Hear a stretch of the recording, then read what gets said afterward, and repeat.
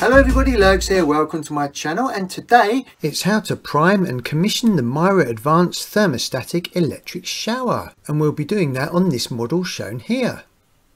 This is the older model of the Mira Advanced Thermostatic and that's the one that I've just removed and there's a link above now about how to prime and commission that shower as the procedure is slightly different. This video isn't how to install the Mira Advanced Shower, you'll need a plumber and an electrician for that. This is literally just how to prime it and do the post installation procedure. Failure to prime the shower appliance will seriously affect the shower performance. Right, let's get cracking. Make sure that the shower is switched off at the electrical supply and just to be double safe you can also switch it off at your RCD switch.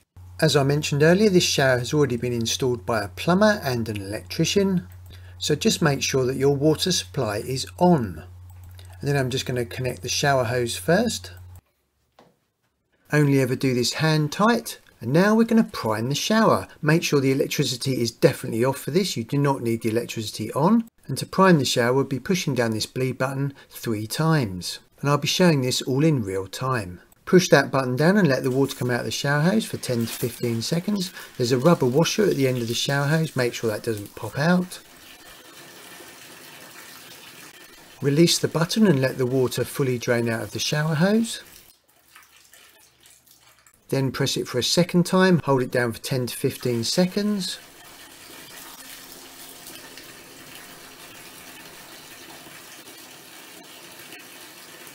And then release, let the water finish draining.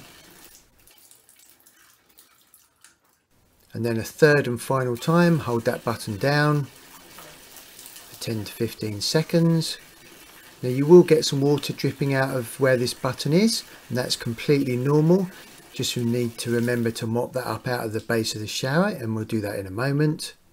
And that is the shower primed. This is where the water leaks out so just take a rag or a small sponge and just make sure that's nice and dry before we put all the covers back on Whilst I'm doing that, there's a link above now about how to keep your curtains super smooth on the curtain rails so they don't stick. That's a really top tip. Remember to put the electrical supply cover back in. This literally just slides straight in.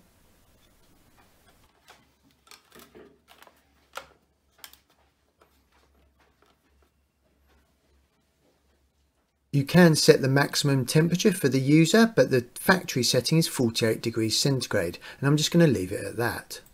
But you can adjust that by flicking the switches on the inside of the front panel. And that's where the switches are that you can adjust for the temperature. I'm just going to leave them as they are. Now we're ready to put the front panel onto the shower. These gaps at the top and the bottom are where your entry routes are for your pipe work. So if it comes in at the top, you don't have that bit there. So if it doesn't come in at the top, you can put a cover on that and it comes with the covers.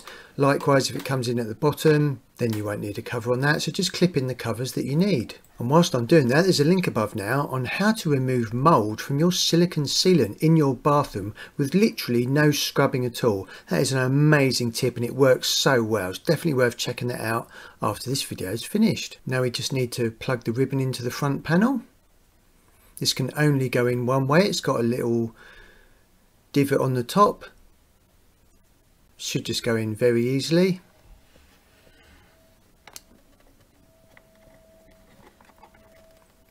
Just push that in nice and parallel get a good connection.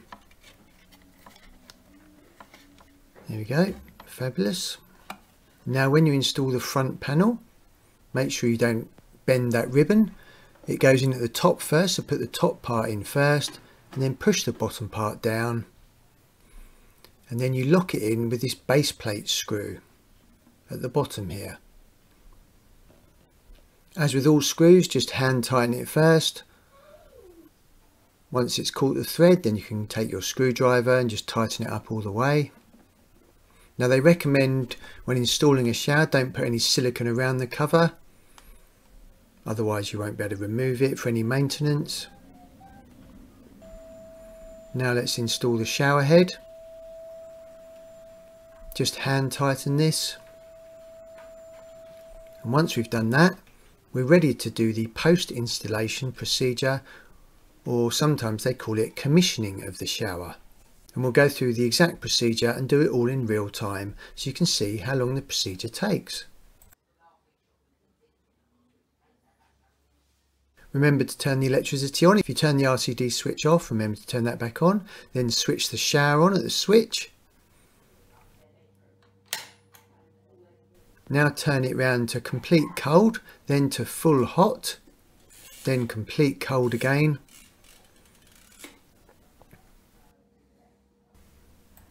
What you do now is press the start stop button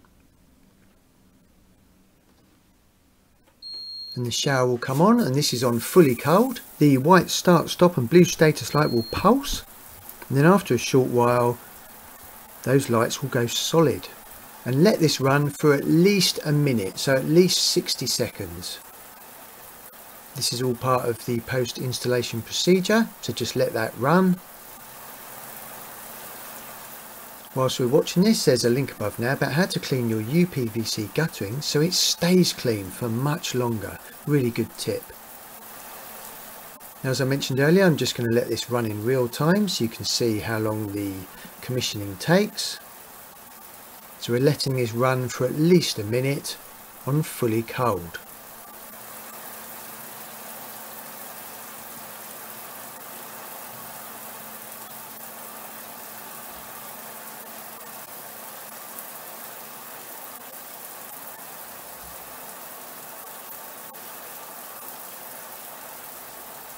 Okay, that's just over a minute. So now press the start stop button. Let the water fully drain out of the shower head.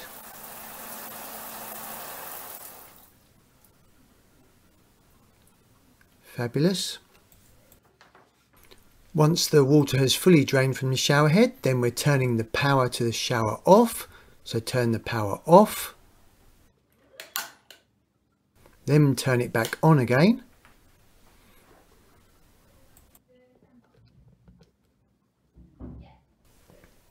And now if you set the temperature dial round to number 8, press the start stop button to start the shower again. The white start stop light and the orange status light will pulse and this may take a little while and as soon as they've stopped pulsing and go to a solid light we're ready for the next part of the procedure.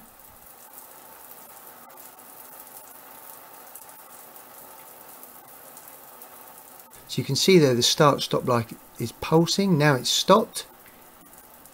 Turn it round to the maximum temperature and let that continue to run for a further minute. So we'll just wait for that in real time. Whilst I'm doing that, there's a link above now about how to defrost your freezer easily in under 15 minutes.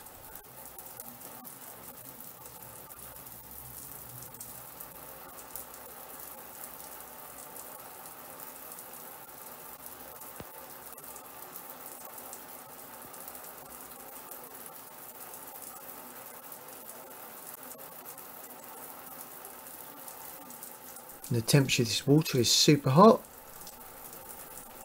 It's at the maximum temperature of 48 degrees centigrade.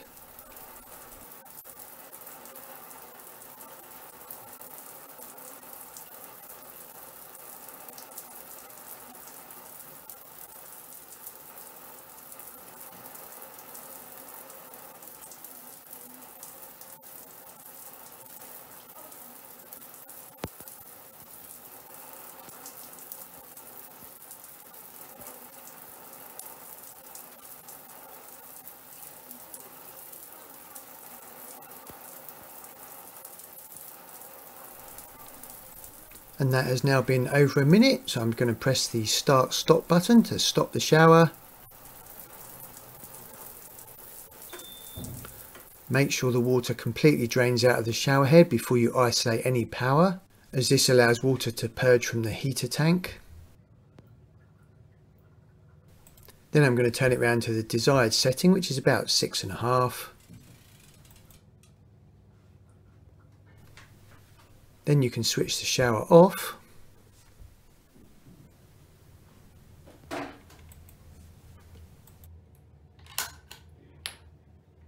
If you've got any fault errors come up, you can have a look in your manual. There should be a fault diagnosis page. You can try repriming your shower or recommissioning it. But hopefully that's all worked for you for the Mira Advanced Thermostatic Electric Shower. And I tell you what, I definitely, definitely fancy a lovely cup of tea after all that hard work. And after all that hard work, it's time for a lovely cup of tea. Oh. I hope you found that useful. Up here is a link on how to stop your curtains from sticking on the curtain rails. Really good tip. And on this side is how to clean your UPVC guttering so it stays clean. Thank you for visiting my channel everyone. I really, really appreciate it.